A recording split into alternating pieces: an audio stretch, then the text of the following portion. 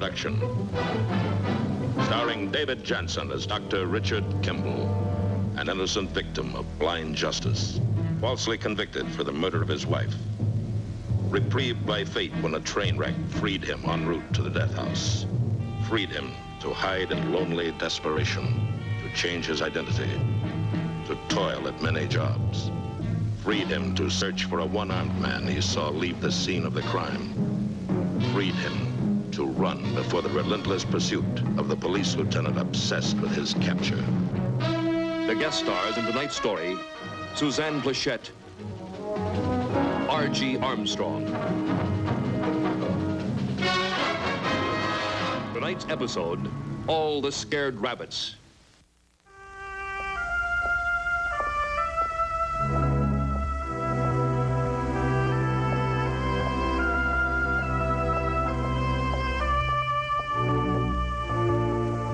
Ad in the newspaper reads, Wanted, someone to drive.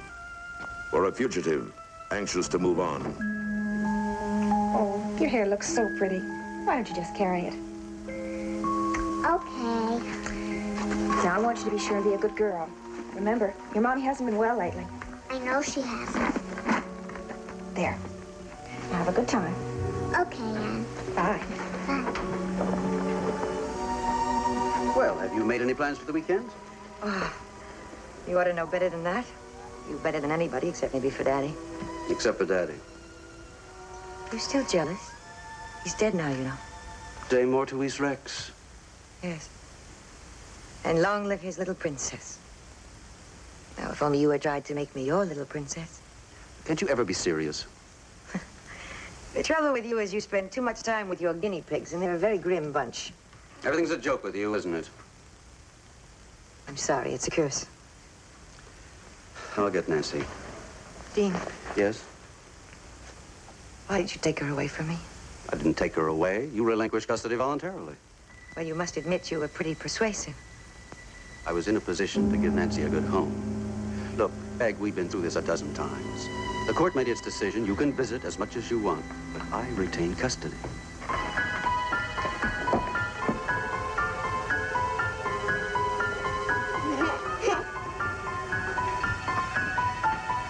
Anne's having another child. How many do you need? That'll make it nice for Nancy. Dean, I'm all alone since Papa died. I know that, and I'm sorry, I really am. But we've got to think of Nancy. She's happy now and loves her. She isn't Anne's child. She's mine. I may as well be blunt with you. I was not particularly anxious to let you have Nancy even for the weekend. It was Anne who persuaded me. Oh. Well, that's very generous of her. Thank her for me, will you? I'm sorry to cut this short, but I've got to get back to the lab. Yes. Well, I appreciate your staying away this long. Nancy? Oh, there you are. Bye. Take good care of her.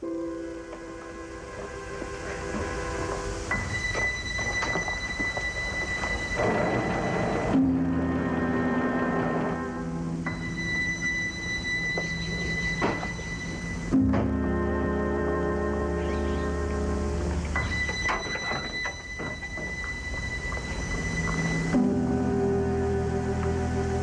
anything wrong? It's leaking oil. Oh. Joe, I'd like you to meet my daughter, Nancy. Nancy, this is Mr. Taft. Hello, Nancy. Hi. Would you like to sit in the front seat with us, or would you rather sit in the back with the luggage?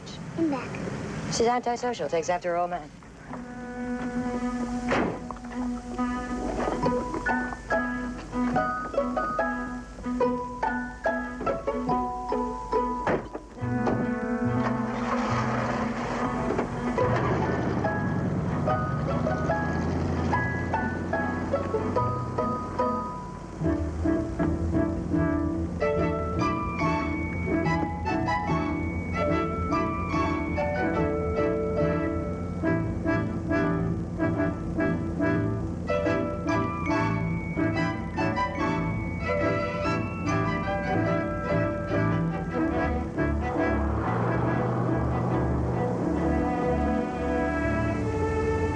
Better start looking for a place to stay.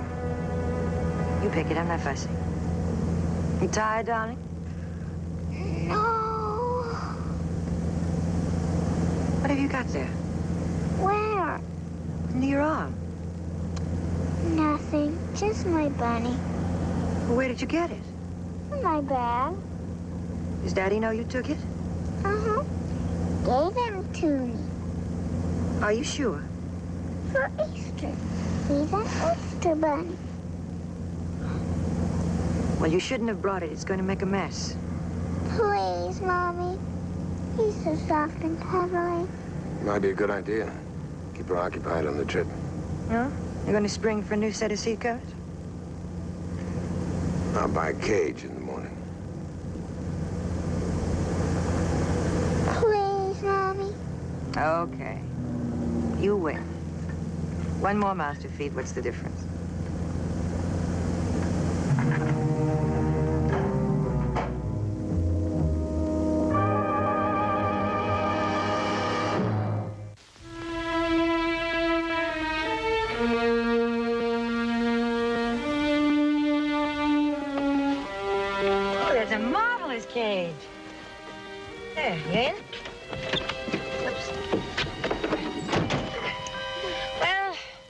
I can't marry you after all.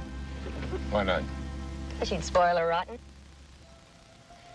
I guess I wouldn't.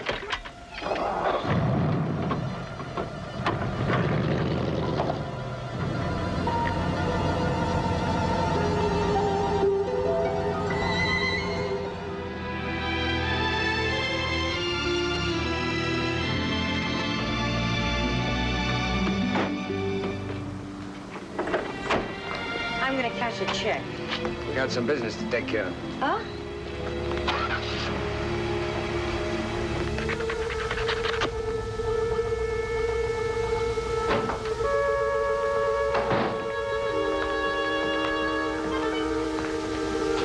Oh, hi. Can I help you? Yeah, chocolate cone, please. Double or single? Double.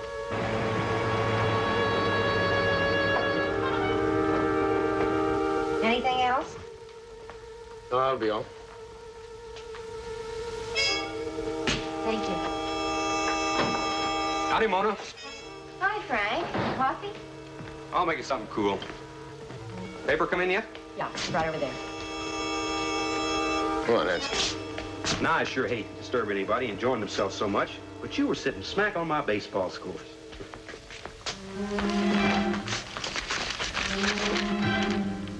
Those Astros. They get 12 hits to 7, they still lose the ball game. Let's get going. Be careful with your ice cream cone. You don't make a mess in the car, huh?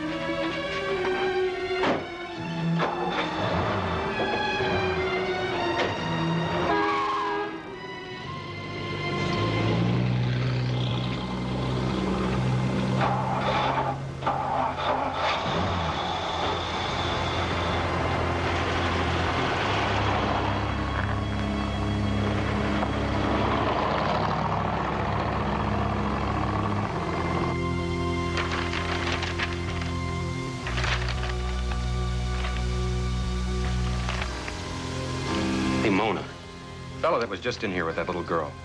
what name did he call her by? Nancy. That's what I thought.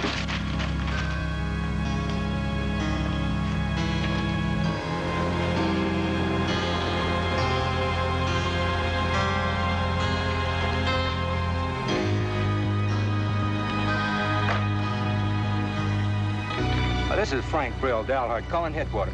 Uh, come in, headquarters.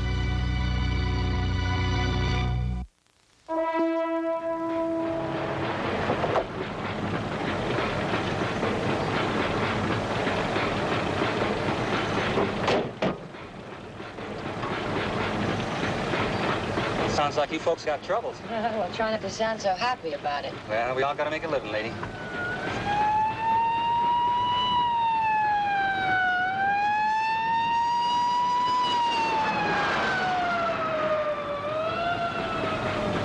Well, that's one thing you don't have to worry about. Getting picked up for speeding. Now, what's the diagnosis? Diagnosis? Well, that's, that's hard to tell, doctor. Sounds like it's in the crank case, but it could be anything. I'm hot, Mommy. Oh, darling, so are we all. Come on, we'll get some water. Hmm?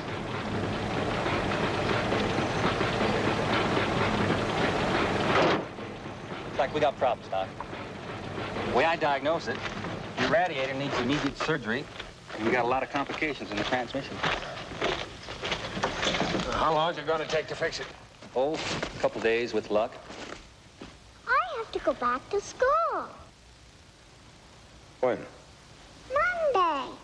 Monday. Oh, she's only making it up. She doesn't go to school yet. Yes, I do. Every day. You know, that's the trouble with most marriages. Nobody talks to each other. Oh, you say it'll be a couple of days, huh? Yeah, if we can locate the parts. It's a pretty old model you got there. Depends on what the junkyards have in stock. Oh, well, couldn't you patch it up? We don't care if it falls apart once we get to California. No, you'd never make it through the desert. Tell you what, sometimes I buy some of these old junkers and fix them up myself. I see that one over there? She'll get you to California and then some. How much? Oh, that broken down old heap and $150 in cash? $150. Well, make it 100. That's my bottom offer.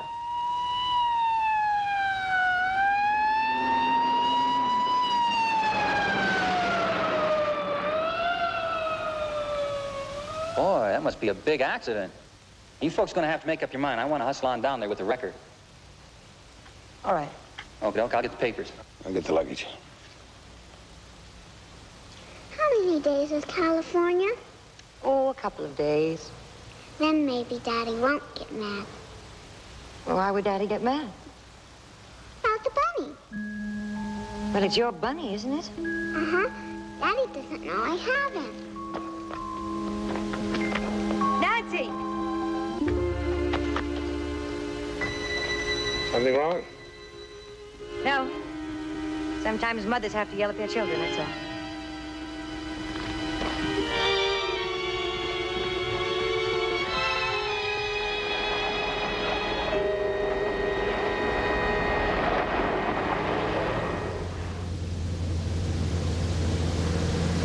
Well, let's see if it works. Oh, it works. We'll have music wherever we go. Oof, not that I ever regarded that as music. Why didn't you tell me? Didn't think you were interested.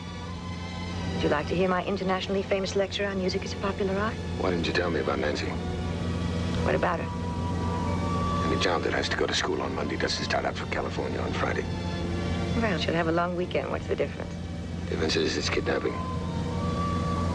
Oh, they know I have her. Dean wouldn't call out the Marines. He's much more civilized than that. He'll just file a lawsuit or something equally stuffy.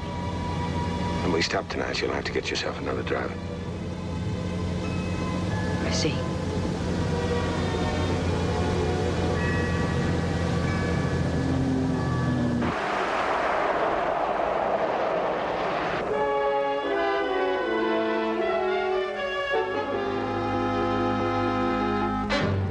How far is it to the next town?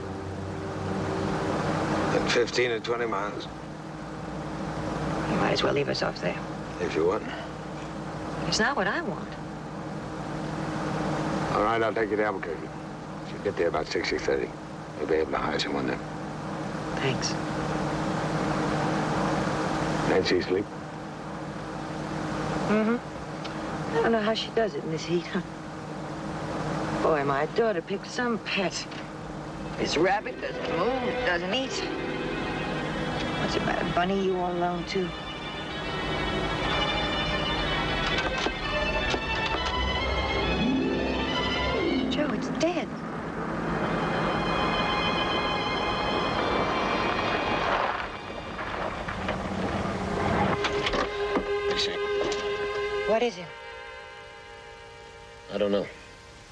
Some disease that rabbits get? Tularemia. They call it rabbit fever. I'd better bury it. Why bother? Why don't you just throw it away? Because there are other animals out there. And people.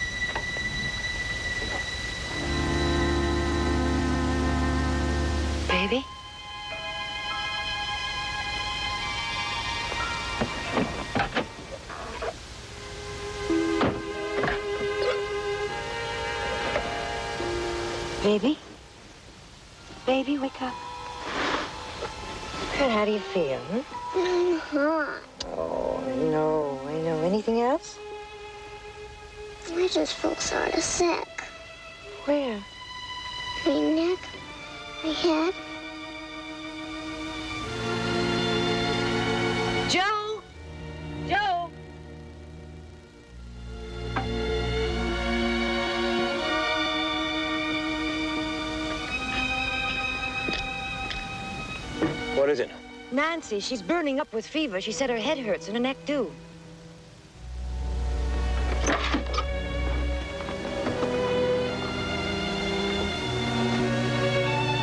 Joe? What? I think Nancy took that rabbit from my husband's lab. What do you mean, you think? Well, I mean, I know. Dean didn't give it to her. She just took it. What could the rabbit have been injected with?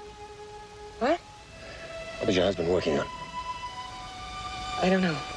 You said he was a research pathologist. Now, what's his specialty? Meningitis. Joe, I can't take her back. She's all I've got. Close that door.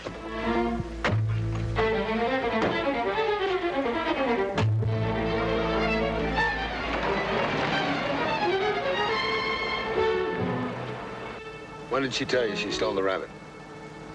The gas station. That was hours ago. We could have stopped half a dozen places by now. We're not sure that's what's wrong. That's what you'd like to believe. Please. You're not even as grown up as she is. Nancy wants a rabbit. She takes the rabbit. You want Nancy, you take her. I need her, and you're just guessing. The rabbit's dead. That's not guessing. Child has a fever, headache, stiffness, all symptoms of meningitis. You better pray that this jalopy holds together. Where are you taking her? To a hospital, to a doctor. You're a doctor. Even if I used to be. I can't get the drugs she needs. Yes, babe. Where's my bunny? Bunny is tired. It's sleepy. I'm sleepy too. Please, hurry.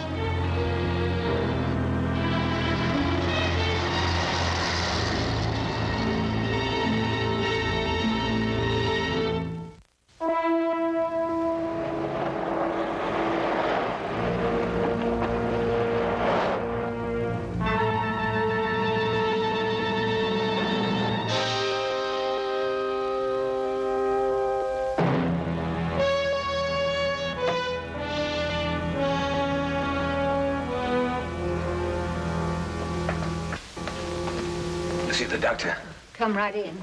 But I'm afraid he's out on a call. When will he be back? Figures close to three hours at the very least. Well, can't you reach him by phone? Wish I could. There's no telephone lines out to the reservation. Well, how did they get through to him? Didn't nobody call him, Miss Franklin. Miss Franklin. Pete Black Cloud came to fetch the doctor. His wife was hemorrhaging. Is there any other doctor around? Not in a hundred miles. Mr. Franklin, there's hardly enough here to keep one doctor alive. Does Dr. White keep any antibiotics or drugs on hand? None, except what he carries in his bag. No need to keep stuff in the office. Bob Hawkins' drugstore's only down the road a bit in Dos Palos. What can we call him? Not without a prescription. Bob came near losing his license last time that happened. Besides, he'd be closed by now. Mrs. White, this child's in a coma. If she doesn't get help and get it soon, she could die. That's something like what they told Bob last time. Knowing him like I do, I'd say there's no chance. He's just got to help us. Just a minute. You stay here and help Mrs. White. Try to make Nancy as comfortable as possible. I'll be right back.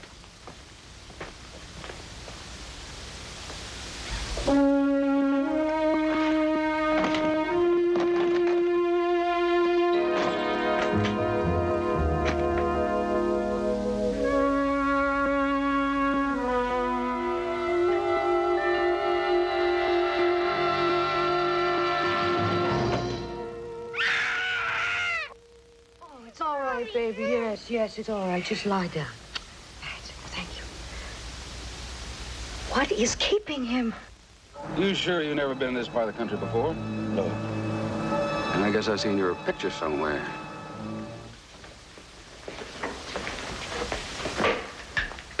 Thank heavens, I was afraid something had happened to you.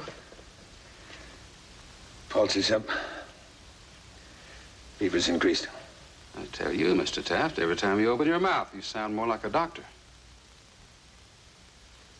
I was American courier. Have much meningitis there? Some it's highly contagious. So what's that?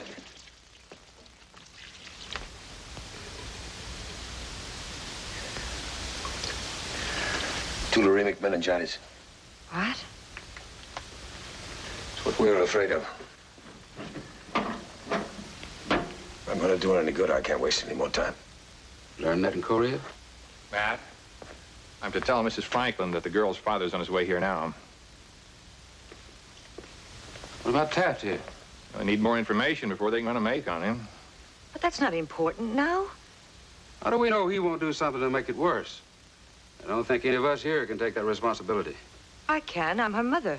Not legally. Read all about it in the papers. If you don't let him help her, that's the same as murder. Murder? That's a mighty harsh word. Don't you think so? Not always. Of course, if you were a doctor, I'd have a little more information to feed him at headquarters. After all, there can't be that many doctors on the run, can there, Mr. Taft? No, I suppose not. Anyhow, since you ain't a doctor, I've got nothing to hold you on. But on the other hand, I can't rightly let you touch that youngster. I'd only allow a real doctor to help her.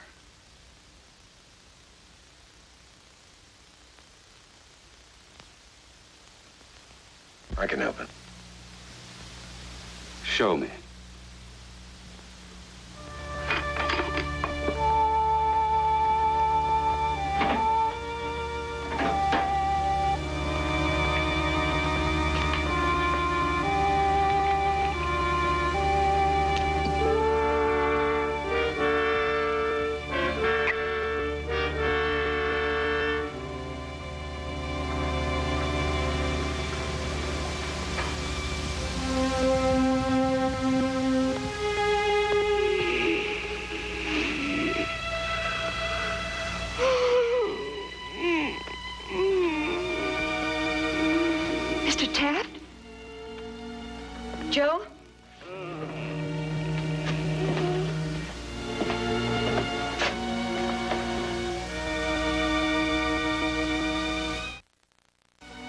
How do you feel?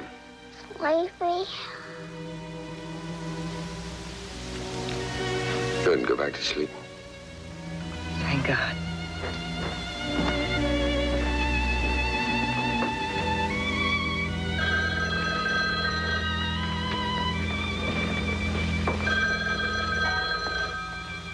You gonna be all right? So far, she needs hospital treatment as soon as possible.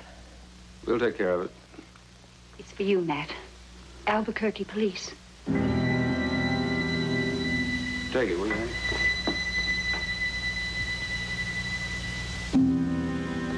I got a couple of kids of my own, you know. Only they never been sick a day in their life. Not really sick. Matt, they want to know if we've got any more information on Taft.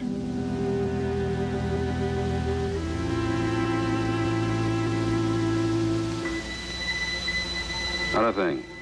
But Matt, Not a thing.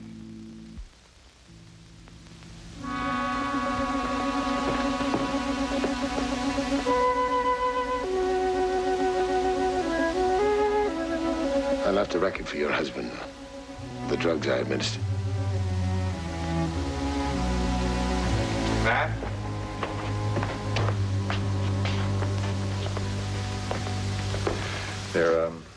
To send a man down here anyway. Why didn't you want me to tell him that he's a doctor? A doctor? You think he's a doctor? Yes. Well, the way you handled that hypo, I wouldn't let him treat my mother-in-law. Well, I thought he handled it real good. Hank, sometimes I wonder about you. Now, you heard what he said to the little girl. How you feeling? Now, you know as well as I do, no doctor talks that way. A doctor'd say, well, well, well, how are we today? With doctors, it's always we. I tell you, Hank, uh, I don't rightly see how I can keep a deputy on to think that man was a doctor. Yeah, well, I guess I made a mistake.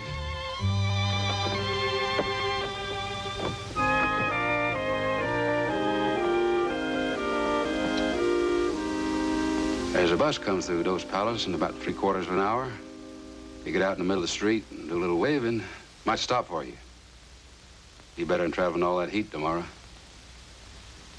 Sounds like a good idea. You can take the car. I'll drive in with you. I, uh, want to thank you. What for? Anybody around here could have told you about that bus. And you are a doctor. Yes. Would you do me a favor? Well, that depends. Would you kiss me?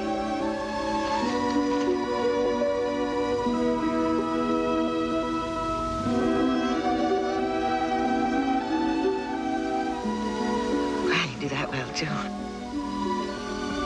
What will you do now? Oh, make sure Nancy gets safely back to the cool, intelligent arms of her father. Say goodbye for me. He likes you. Well, I like her. So does her mother. How is her mother going to get back now? Well, if I remember correctly, uh, first I turn on the ignition, and then I put the car in You're gear. do all right. Well, you don't expect me to be able to regain custody if the judge finds out I can't drive Nancy to the doctor. But I should. You do.